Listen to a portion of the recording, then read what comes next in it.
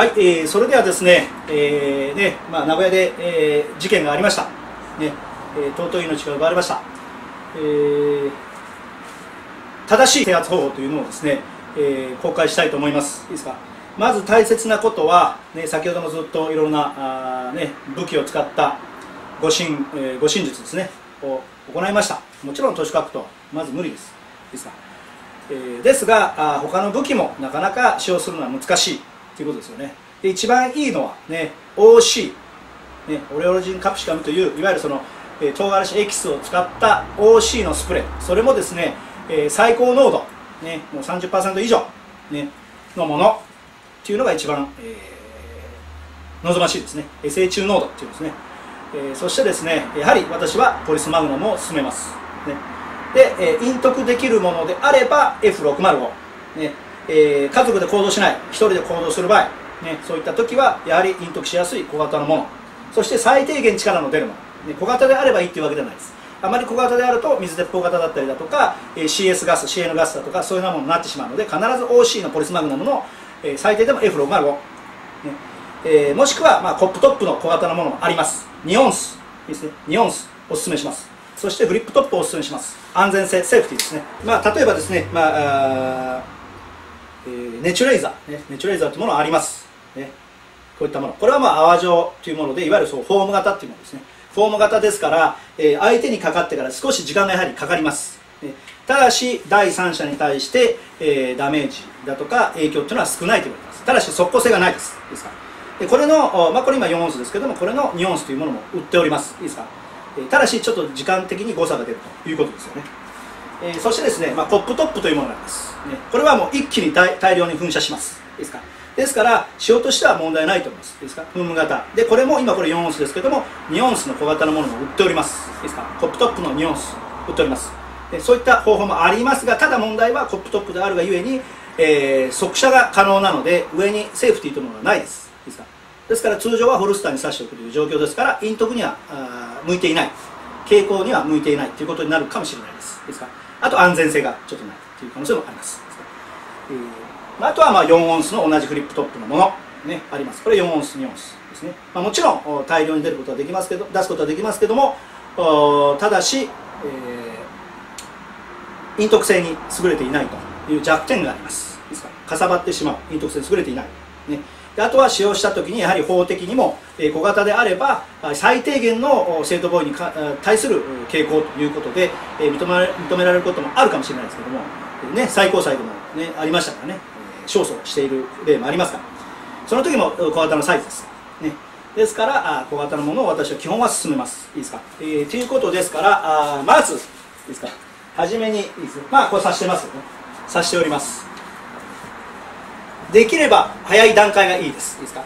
そして、えー基本的に例えばヤクザ同士の抗争だとかいろんなものがあります、ね。基本はですよ。基本はもう第三者の喧嘩だとか、えー殺し合いだとかそういったものには介入しない。必ず離脱をして、えー遠いところから、えー通報する、ね、もしくは第三者の誰かが通報してるならばもうそれでいいんですけども基本はもう離れるってこと。大事ですよね。もちろんカップルだとか家族で歩いてても一人で歩いててもそうですけども離脱をするということ。これに関わらないということは絶対的です。ですが問題はですよえー例えばこうやられてる人が自分の知人だとか家族だとかやらなきゃいけない場合そういった時は基本はまず一旦距離を取るしかないですこれは、ね、いいですか？距離を取るしかない。で持っているバッグとかで、えー防護する状況を作ります。で相手が向こう向いてる時ですね。その時に抜いてこれを一回振ります。振ります。まあ5回6回ぐらいでいいです。素早く振ります。そうすると噴射力が上がります。いいす。圧が上がります。そして声を例えばかけるなら「おい!」って声をかけといて距離を取ってかける。わかりますか？大体3メートル4メートル。飛びます。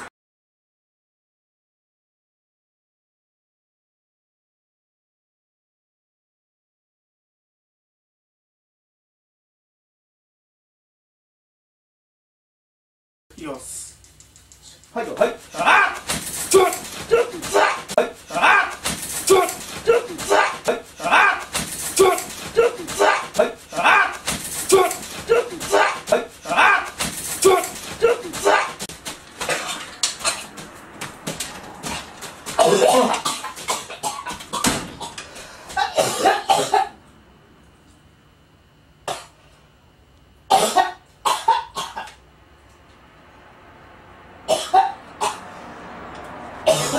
ね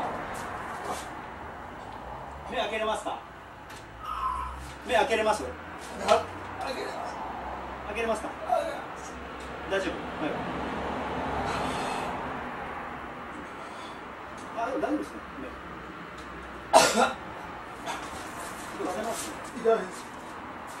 目どこが痛いですか？べ目が痛いですか？はい。はい。攻撃できそうですか？いやできない。なんでできないですか？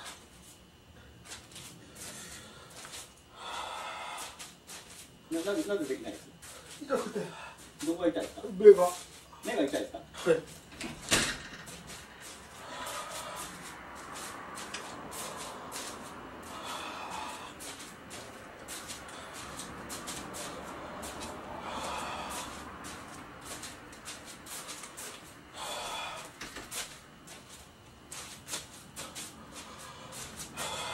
どうですか？攻撃できます？できない。なぜできないですか？理由がいやうん痛くて。ええ。理由はなぜできないですか？やろうともできるじゃないでいやできないです。すかななぜできないですか？痛くて。どこが痛いですか？べ目がでも目見えてますか？なんとか。目見えてます？だなんとなんかか見えてます、でもななぜなぜ攻撃目が見えてたら攻撃できるんですか？いやいやいやいや痛くてそういう気が起きないです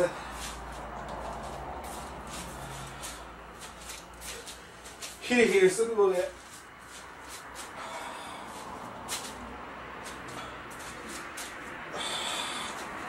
が目閉じました？閉じちゃいました。いや受けてから閉じちゃいました。あでも受けてますよね。目玉の中に入りました？入ってます。入ってます。入ってます入ってます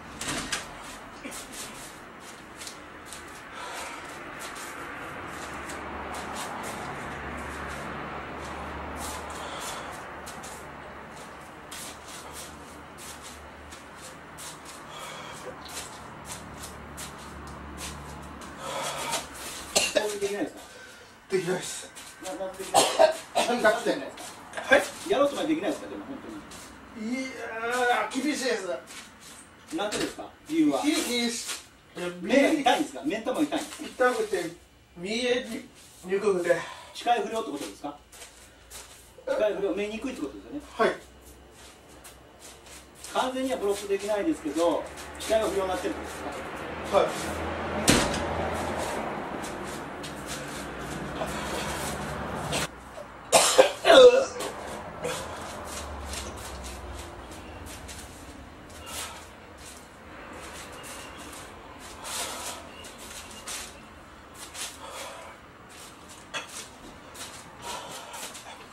これでこれ拭きましょうこれで顔拭きましょう。拭きましょう、はい。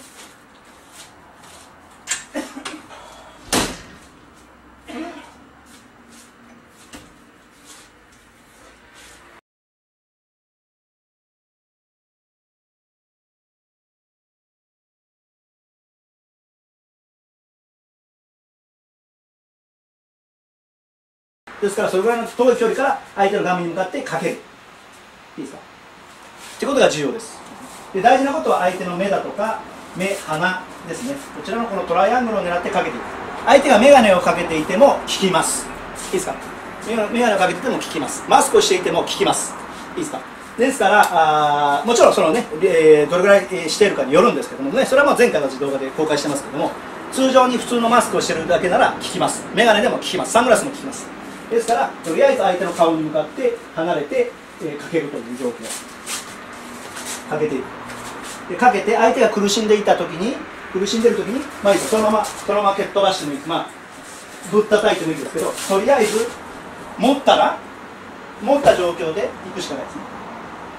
持った状況。あいわゆる。持った状況で引っ張っていくしかない。いいですか？ね。まあ女性だと難しいかもしれないですけども、まあ、以前私受講者の方とやった時に、えー持っていくことできました。実は。いいですか？手を持った状態で後ろへ体重かけてずっと徐々にずらしていけば普通にずるずらすことはできます。とにかく相手を無効化して、えーやられている人を運ぶということが重要だと思います。はい、まず苦しんでいる。いいですか？あまず今やられてますよね。はい。いきます。おい！かけたかけた。かけました。かけました。で追加でかけるなると追加でもいいですよ。追加で追加でかけといてかけといて追加でかけます。かけといてポケット入れといて例えばいけるなら一気にまあこちらならこちら側でもいいです。安全な方向へ引っ張っていく。いいですか。わかりますか？もちろん警察で通報したとかそういった後です。いいですか？もしくは第三者に通報してもらうことをの、えー願う。ということですね。そして自分は助けに行くと。いう状況が望ましいですよね、はい、もう一回いいですよはい。おい。はい。かけな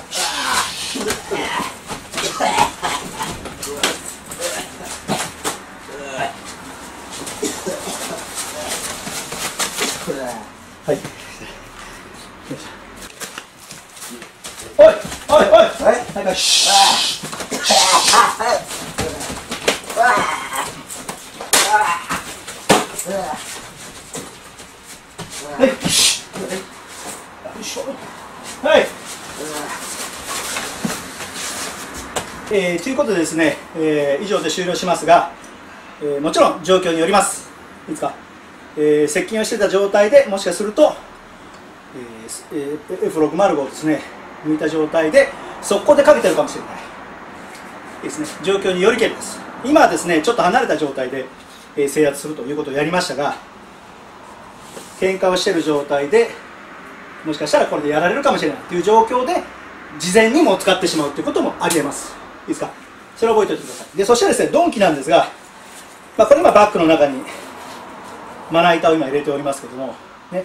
まあ、前紹介したことありますよね。まな板の件ね、まあ、こういったまな板を入れて、えーちょっと重みのあるものを入れておくと。そうするともうバッグ自体が鈍器になったりだとか、まあ、このような、ね。